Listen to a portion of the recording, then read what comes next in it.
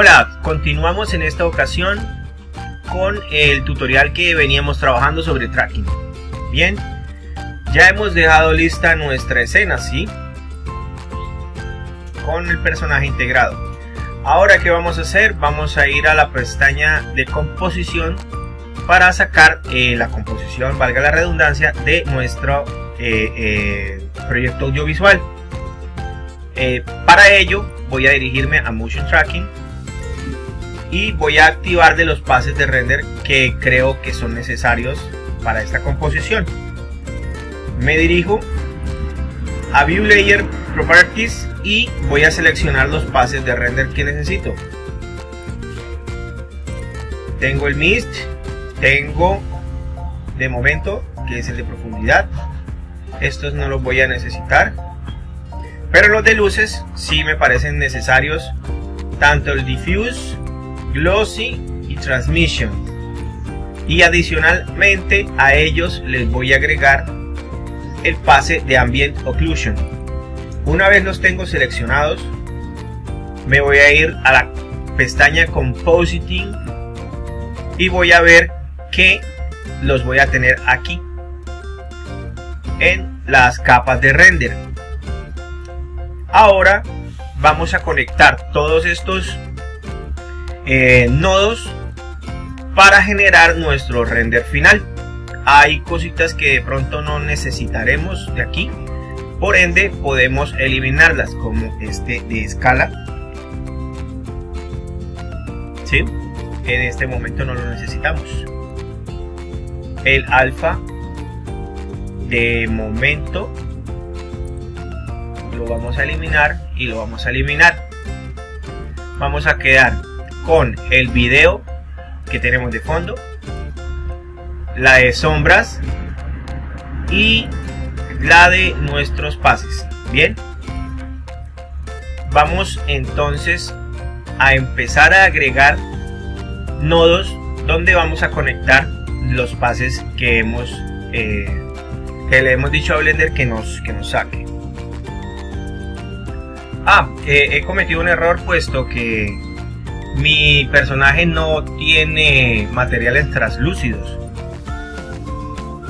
Entonces no voy a necesitar no voy a necesitar el pase de transmisión, solo el diffuse y el glossy, ¿ok? Bien, eh, estos elementos de render, lo que es el diffuse, direct, indirect y color, son los que tienen la información de la luz, del rebote de luz eh, y el color en, nuestro escenario y lo queremos sacar por aparte para poderlo modificar sin necesidad de volver a renderizar. Entonces concluimos que Diffuse Direct es la luz directa, Diffuse Indirect es la luz ambiental y Diffuse Color es la información de color. Ahora voy a hacer un split a mi escenario para trabajar de mejor manera. Con clic derecho en el borde le doy vertical y lo voy a buscar por aquí. En este caso vamos a poner que sea el UV Editor, ok, para tenerlo ahí y para ver lo que está en nuestro escenario le vamos a dar clic aquí y vamos a dar al Viewer Node. En este momento no se nos va a ver nada porque aquí no tenemos conectado absolutamente nada aún. Lo cual, si le damos de imagen a imagen, nos botará este cuadro gris porque no hemos renderizado. Si hacemos una renderización, vamos a ver al personaje.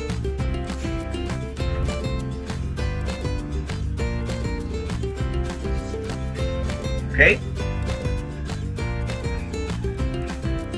Y lo vamos ahora sí a ver en el escenario como ven aquí. Ustedes podrían optar también darle y al viewer que es al visor y al render para que en el render pues se nos quede y no se nos esconda el, el personaje una vez renderizado. Ok, ahí lo tenemos y miren que ya no va a desaparecer sino que se queda allí. Ok, entonces eh, vamos a continuar ahora sí con los pases necesarios. Ahora lo primero que vamos a hacer es separar los entonces para la separación vamos a agregar un canal de mix en esa parte. Vamos a darle shift a y lo buscamos mix. Tenemos aquí el canal de mix. Ok y vamos a poner el diffuse direct sobre el diffuse indirect. Vamos a agregar nuevamente otro otro canal de mix al cual le vamos a anexar el diffuse color. Con la tecla H vamos a comprimir esto. Y finalmente este perdón este va conectado el diffuse color aquí. Y este vamos a conectarlo. Les muestro nuevamente. Va conectado en la image de abajo y este va conectado en la image de arriba.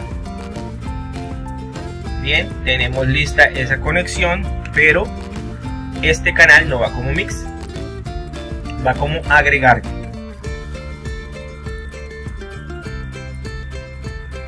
Y lo comprimimos. Y vamos a repetir la operación para lo que es glossiness agregamos directo sobre indirecto y el glossiness color sobre el mix. Y estos dos pases en vez de mix van a ser multiply.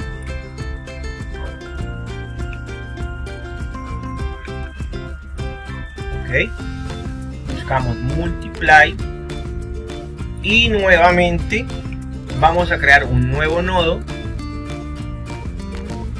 Yo aquí lo que estoy haciendo es copiar y pegar pero ya saben que pueden agregarlo con shift a. Y este nodo lo voy a poner como add. De momento. Al cual le vamos a conectar este multiply como image 1 y este como image 2 entonces lo que estamos haciendo aquí es sumar los pases difusos con los y luego los multiplicamos para asignárselos a nuestra imagen. Ahora agregamos nuevamente un, un nodo que es el que le vamos a asignar al ambient occlusion en image abajo. Y este lo vamos a asignar ahí más arriba para que se combinen. Ok. Vamos a desconectar un momento del visor.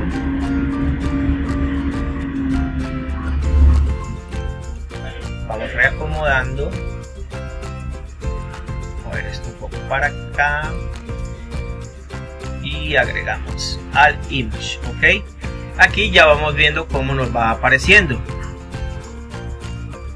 Si ponemos esto como multiply ya nos va a generar la imagen como finalmente nos va a quedar y cómo va a salir los pases. En unos momentos más adelante les mostraré todo esto de la combinación de nodos separados para que nos puede servir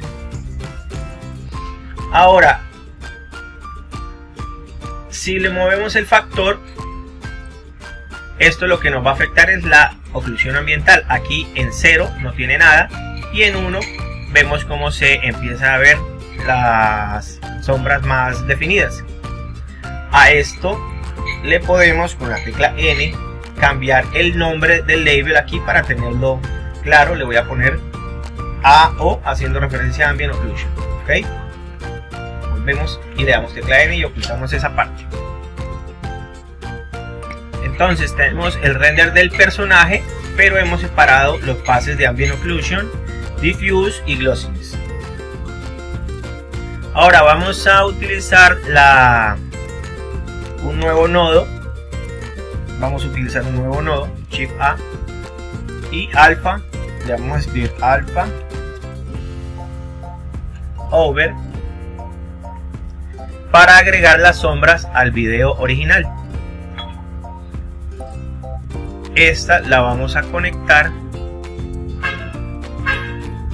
a image de abajo.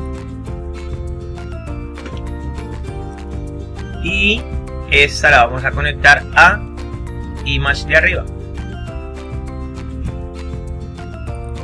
Y nuevamente creamos otro alpha over al cual lo conectamos en la parte de arriba. Y este nodo lo vamos a comprimir. Que es el de ambient occlusion lo vamos a conectar allí. Vamos a tirar esto un poco para arriba para recomodar. Y este lo vamos a pasar para aquí.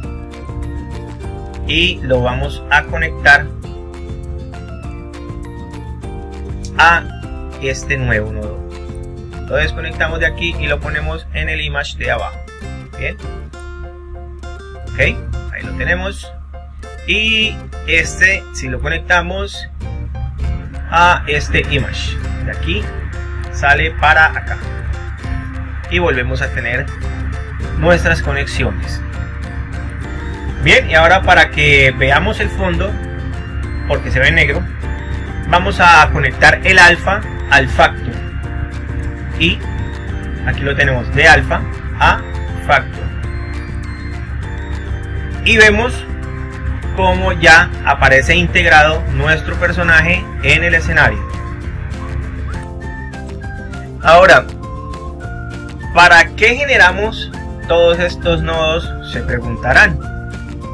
Bueno les voy a mostrar qué función pueden tener eh, si variáramos un color directamente en el, en el modelado, en el, en el pase de motion tracking o en los pases anteriores, nos tocaría renderizar nuevamente y ver los colores si variaron o no variaron, como los buscamos.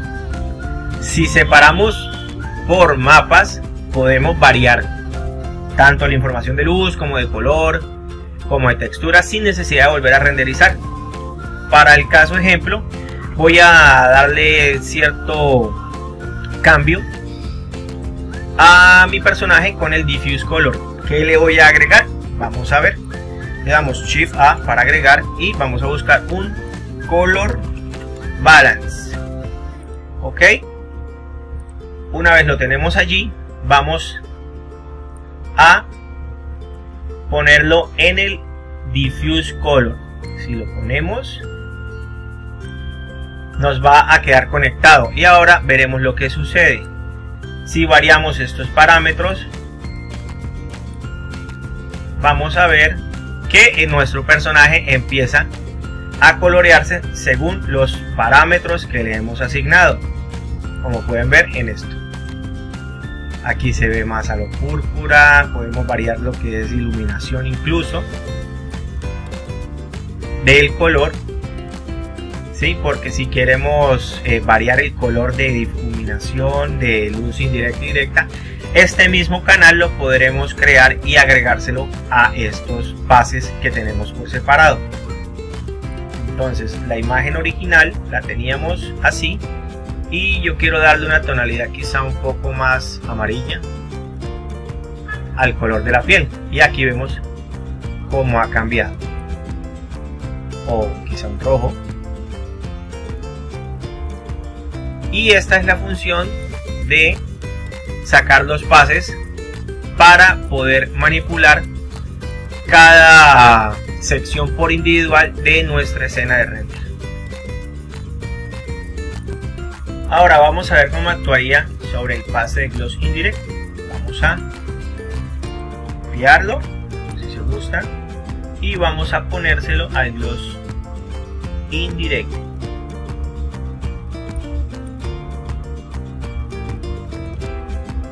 Anexarlo aquí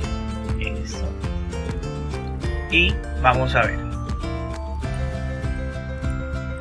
Esto lo que nos va a generar es variación en las partes donde hay iluminación indirecta.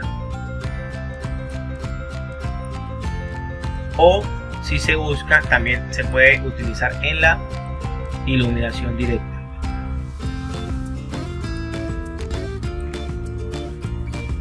a desconectarlo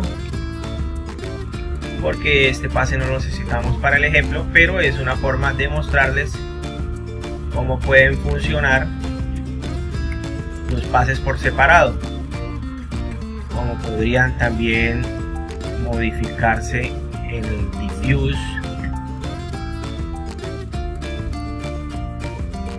como pueden ver aquí. Solo va a afectar esa parte de las luces. Si la ven aquí la podemos variar aquí.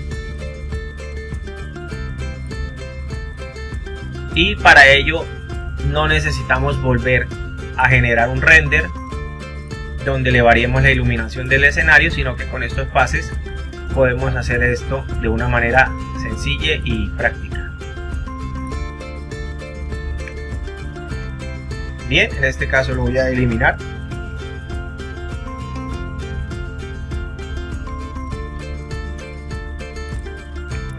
listo una vez eh, estemos satisfechos con el resultado de nuestras variaciones de color, de luces, de sombras, vamos a proceder a renderizar. Aquí voy a agregarle un poco de variación, solo por jugar un poco con el color de la piel del personaje. Para ver efectos del render. Que no sea tan Simpson, que sea más rojito la iluminación del color. Quiero que se vea mejor integrado pero no tan oscuro. Que tenga una iluminación que lo haga resaltar un poquitico solamente. Listo me parece que los colores aquí están bien. Y nos vamos entonces al render. Buscar la salida. ¿sí? en este caso yo quiero que salga es un video este es el formato pues que más se usa entonces lo voy a seleccionar y busco la salida. En este caso voy a guardarlo en el escritorio, en mi carpeta y voy a ponerle en el camera tracking. Voy a agregarle... vamos a crear una carpeta especial para esto. La voy a denominar composición y tracking. Tracking. Ok.